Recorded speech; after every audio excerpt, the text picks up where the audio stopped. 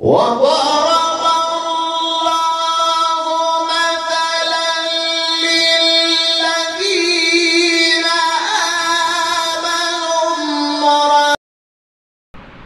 السلام علیکم ورحمۃ اللہ وبرکاتہ۔ ناظرین گرامی، میں دوبارہ آپ کی خدمت عالیہ میں حاضر ہونے کا شرف حاصل کرتا ہوں۔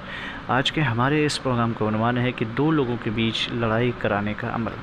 لیکن اس سے پہلے کہ اس عمل کے بارے میں آپ کی خدمت عالیہ میں کچھ عرض کروں، گزارش کرتا ہوں کہ ناظرین محترم، یاد رکھیں ہمارے جتنے بھی عملیات ہوتے ہیں، وہ صرف اور صرف جائز مقصد کے لیے ہوتے ہیں، ناجائز کاموں کے لیے، غلط کاموں کے لیے، حرام کاموں کے لیے۔ ہماری طرف سے کسی کو بھی کسی طریقے کی کوئی اجازت نہیں ہے۔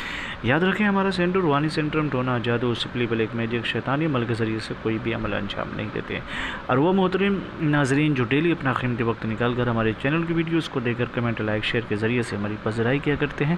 ہم ان کا تہ دل سے شکریہ ادا کرتے ہیں۔ دل سے دعا دیتے ہیں کہ اللہ ان کو اپنے حفظ و امان میں رکھے، ان کی تمام تر جائز حاجات کو پوری فرمائے۔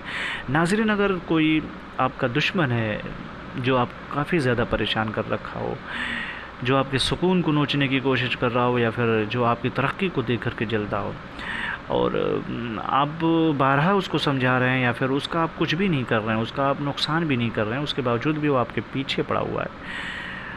تو اگر آپ یہ چاہتے ہیں کہ وہ اپنے کام سے باز آ جائے اور اس کے باوجود بھی وہ باز نہیں آ رہا ہے، اور پھر اس کے بعد پھر بھی وہ آپ کے معاملات میں دخل اندازی کر رہا ہے، آپ کو پریشان کر رہا ہے، آپ کو بالکل حد درجہ اس نے اگر آپ کو پریشان کر رکھا ہے اور وہ کئی ایک لوگ ہوں، کئی لوگ ہوں، تو ان سے نجات پانے کے لیے، ان دونوں کے درمیان خود ایسا عمل کرتے ہیں کہ وہ خود اپنے معاملات میں الجھ جائیں۔ دونوں آپس میں لڑنے لگیں، دونوں ایک دوسرے کے دشمن ہو جائیں۔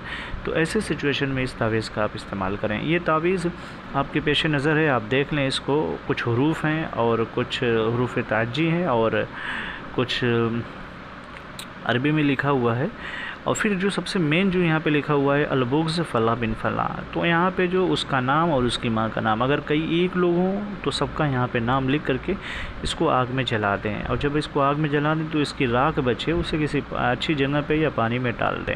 اس عمل کو کم سے کم تین یا چار دن آپ اس کو کریں۔ یہ بہت جلدی اثر بھی کرتا ہے اور اگر اس کا اثر ظاہر نہ ہو تو آپ دوبارہ بھی اس کو آپ انجام دے سکتے ہیں۔ لیکن تین دن کرنے کے بعد اسے چھوڑ کر کے دو تین دن اس کا انتظار کر لیں۔ پھر اس کا کے بعد اگر اثر نہیں آپ کو دکھا تو پھر دوبارہ آپ اس کو کر سکتے ہیں۔ دو دفعہ کرنے کے بعد آپ بالکل بھی اس کو نہ کیجیے گا۔ آپ اس کو کریں انشاءاللہ اگر اللہ نے چاہا تو آپ ضرور اپنے منزل میں اور اپنے مقصد میں ضرور کامیاب ہو جائیں گے۔ اس کو کریں، لیکن ناظرین یاد رکھیں، ناجائز طریقوں سے آپ اس کا استعمال بالکل بھی نہ کریں۔ یہ نہیں کہ بس دو لوگوں کے درمیان آپ لڑائی کراتے پھریں، ایسا بالکل بھی نہ کریں۔ جب وہ حد سے زیادہ پریشان کر چکا ہو اور پیمانے صبر لبریز ہو چکا ہو، تب اس سے صورت حال میں آپ اس کو ضرور انجام دیں۔ ہماری طرف سے آپ کو اجازت مل جائے گی۔